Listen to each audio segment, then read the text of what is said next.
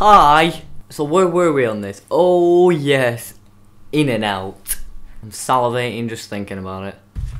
If you actually live anywhere near an In and Out and you've never been, why on earth are you watching this video right now? Because that's the worst decision you could possibly be making. The burgers you get at In and Out are like Burger King Whoppers mixed with the tears of a dying angel. Topped with cheese and lettuce and tomato and onion and just mm, just everything that is good in the world. But after I had my first burger there, also, here's proof that I had it. There you go. I'm not lying. But after that, the first week just becomes a bit of a blur, really. Explored the local area, hung out with my friend Mark. Oh my god, that's amazing! Good. I'm covered in sticky wet liquid. And even went to an Asian supermarket. Why is there such thing as an Asian supermarket? Why do they need to have their own shopping place? It's like Nazi Germany all over again. Not real bad. While we're on the topic of Asian supermarkets, let's just go back a bit. Mochi, those balls on that tray, absolutely disgusting.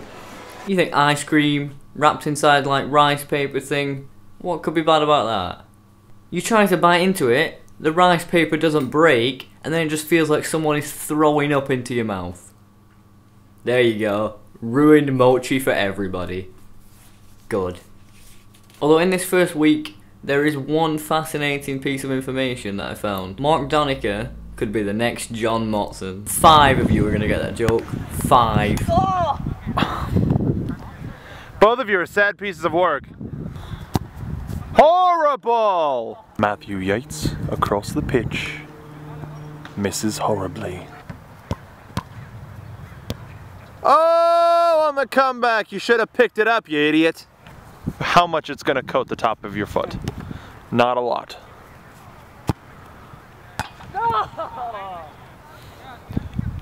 How does it how does it feel to be a failure?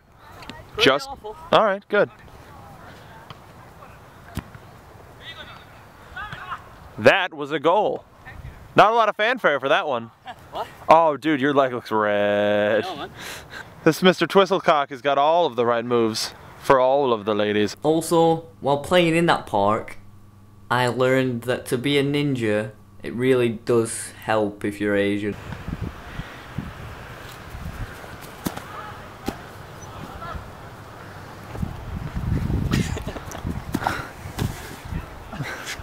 Less cool. Not quite ninja. I'm just constantly making a fool out of myself, aren't I? But aside from all that, the first week was really just me relaxing and getting used to the area. The real fun begins next time. Guess what it's about?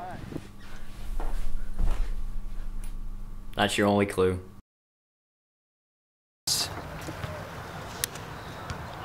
Trying to work on your focus. What happens when I eat all the pussy?